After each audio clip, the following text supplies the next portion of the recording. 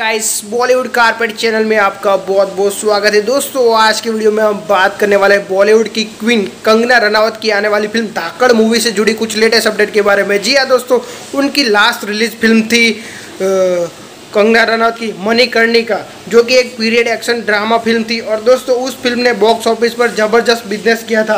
अब दोस्तों वो धाकड़ फ़िल्म लेके आने वाली है। ये भी एक एक्शन और थ्रिल से भरपूर फ़िल्म रहने वाली है। और दोस्तों इस फ़िल्म से अर्जुन रामपाल काफ़ी अरसों के बाद बॉलीवुड में कम करने वाला है। जी हाँ दोस्तों, और इस फ़िल्म के अंदर कंगना रनावत अर्जुन रामपाल और दिव्या दत्ता देखने को मिलेगी। और दोस्तों डायरेक्शन की बात करें तो इस फ़िल्म को डायरेक्शन देने वाले हैं रंजीत घाई।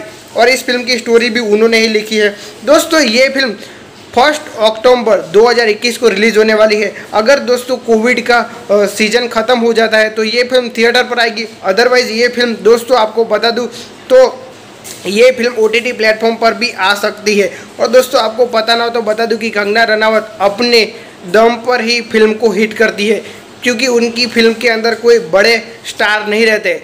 और दोस्तों, ये फ़िल्म का जो फ़र्स्ट पोस्टर आया है, वो देखने के बाद वो बहुत ही धाकड़ वैसे भी है, और दोस्तों, रियल लाइफ में भी वो धाकड़ दिख रही है, क्योंकि उनका जो फ़र्स्ट पोस्टर आया है, वो बहुत ही धाकड़ है। और दोस्तों पोस्ट पोस्टर के बाद फैंस इस फ़िल्म के लिए बहुत ही एक्साइटेड हो गए और दोस्तों, कंगना रनावत को इससे पहले हम कई सारी फ़िल्म फ़िल्मों के अंदर एक्शन करते हुए नज़र आ चुकी है मैं अब दोस्तों, बात करें तो बजट की बात करें तो लगभग 35 करोड़ के बजट में इस फ़िल्म को बनाया गया है।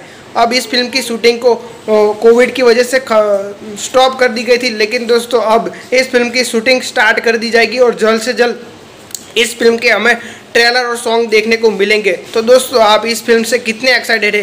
क्या ये फ़िल्म मनी करने का द क्विंग जैसी बॉक्स ऑफ़िस पर कमाई कर पाएगी या नहीं? कमेंट बॉक्स में लिख के ज़रूर बताना। वीडियो पसंद आया तो हमारे चैनल को फटाफट से सब्सक्राइब कर दें।